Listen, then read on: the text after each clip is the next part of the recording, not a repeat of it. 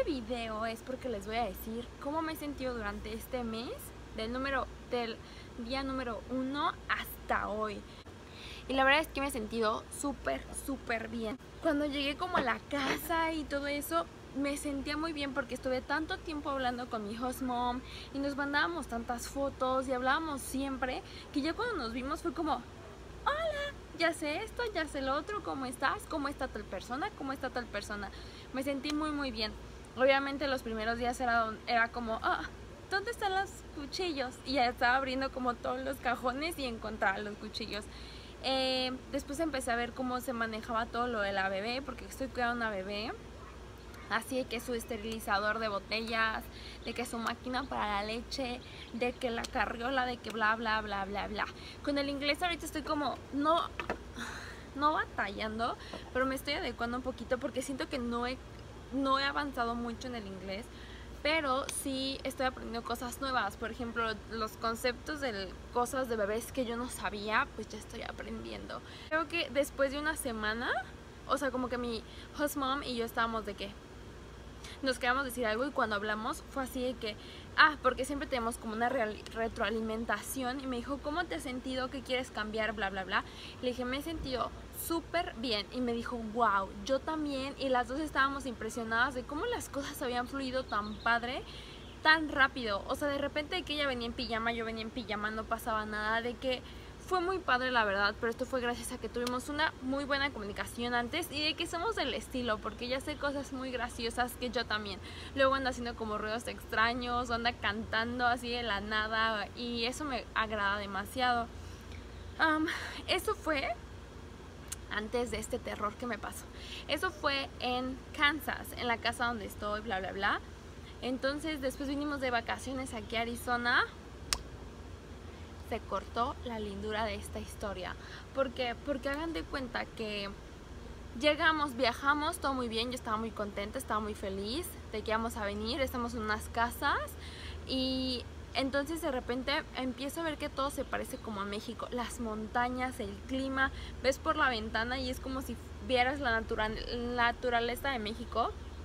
Entonces, o sea, me empecé como a pachurrar, así como pero para eso yo había pasado, o sea, yo sentí que había pasado un mes en Kansas cuando habían sido como apenas semanas. Y cuando llegué aquí sentí como, ah, o sea, sentí homesick.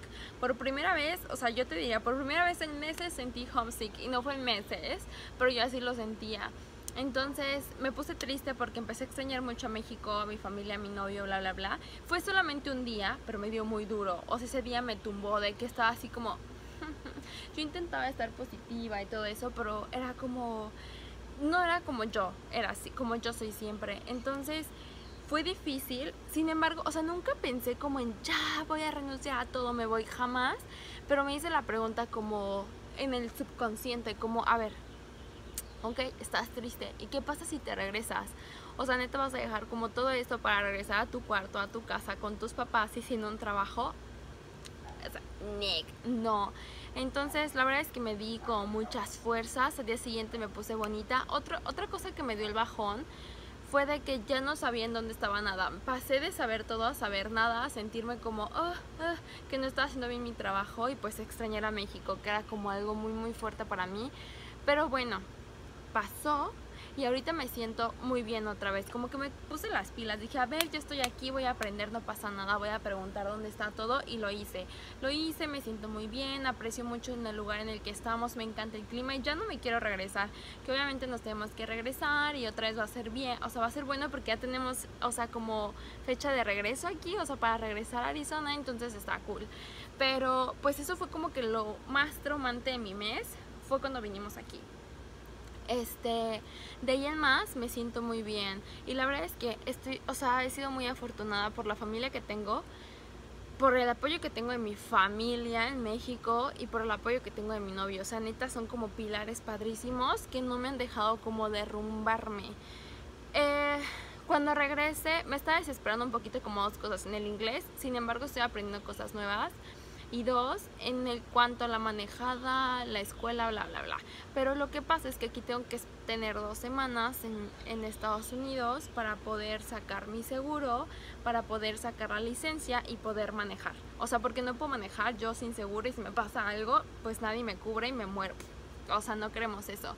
Pero ya cuando regresemos, ya casi nos vamos otra vez a Kansas. Entonces ya puedo sacar mi seguro, ya puedo estudiar para mi licencia y ya puedo manejar. Entonces las cosas con calma. Yo creo que en este mes rescataría que me necesito dar más paciencia, que necesito llevarme la leve. A veces como que quiero ser muy perfeccionista y decir como mi trabajo que queden todas las botellas iguales, que quede toda la ropa bonita, sin que nadie me lo pida. Pero yo creo que sería eso, o sea, paciencia, no pasa nada, me he sentido muy bien, me tengo que adecuar, hasta ahora todo ha sido padrísimo, no me ha faltado nada, me tratan hermoso de verdad, entonces ese ha sido mi mes, ese es mi resumen rapidísimo de mi primer mes aquí en Estados Unidos. La verdad es que se me hace padrísimo si voy grabando como cada mes para ver qué ha ido cambiando, para ver cómo me he sentido, qué aventuras he tenido. Y la verdad es que sí, ha sido un mes muy bonito y agradezco todo lo que me ha pasado, tanto bueno como malo, porque aprendí y sé que ahora me tengo que tener más paciencia. Y hasta ahí ha sido todo.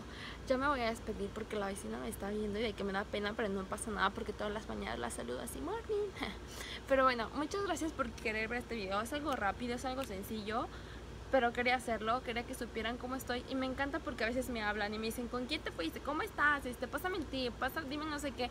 Y me encanta ayudarles porque de verdad que me, o sea, me encantó cuando me ayudaron a mí para poder estar aquí y estar en este hermoso lugar y que no me falte nada me despido. Muchas gracias por verme. Nos vemos en Instagram. Bye.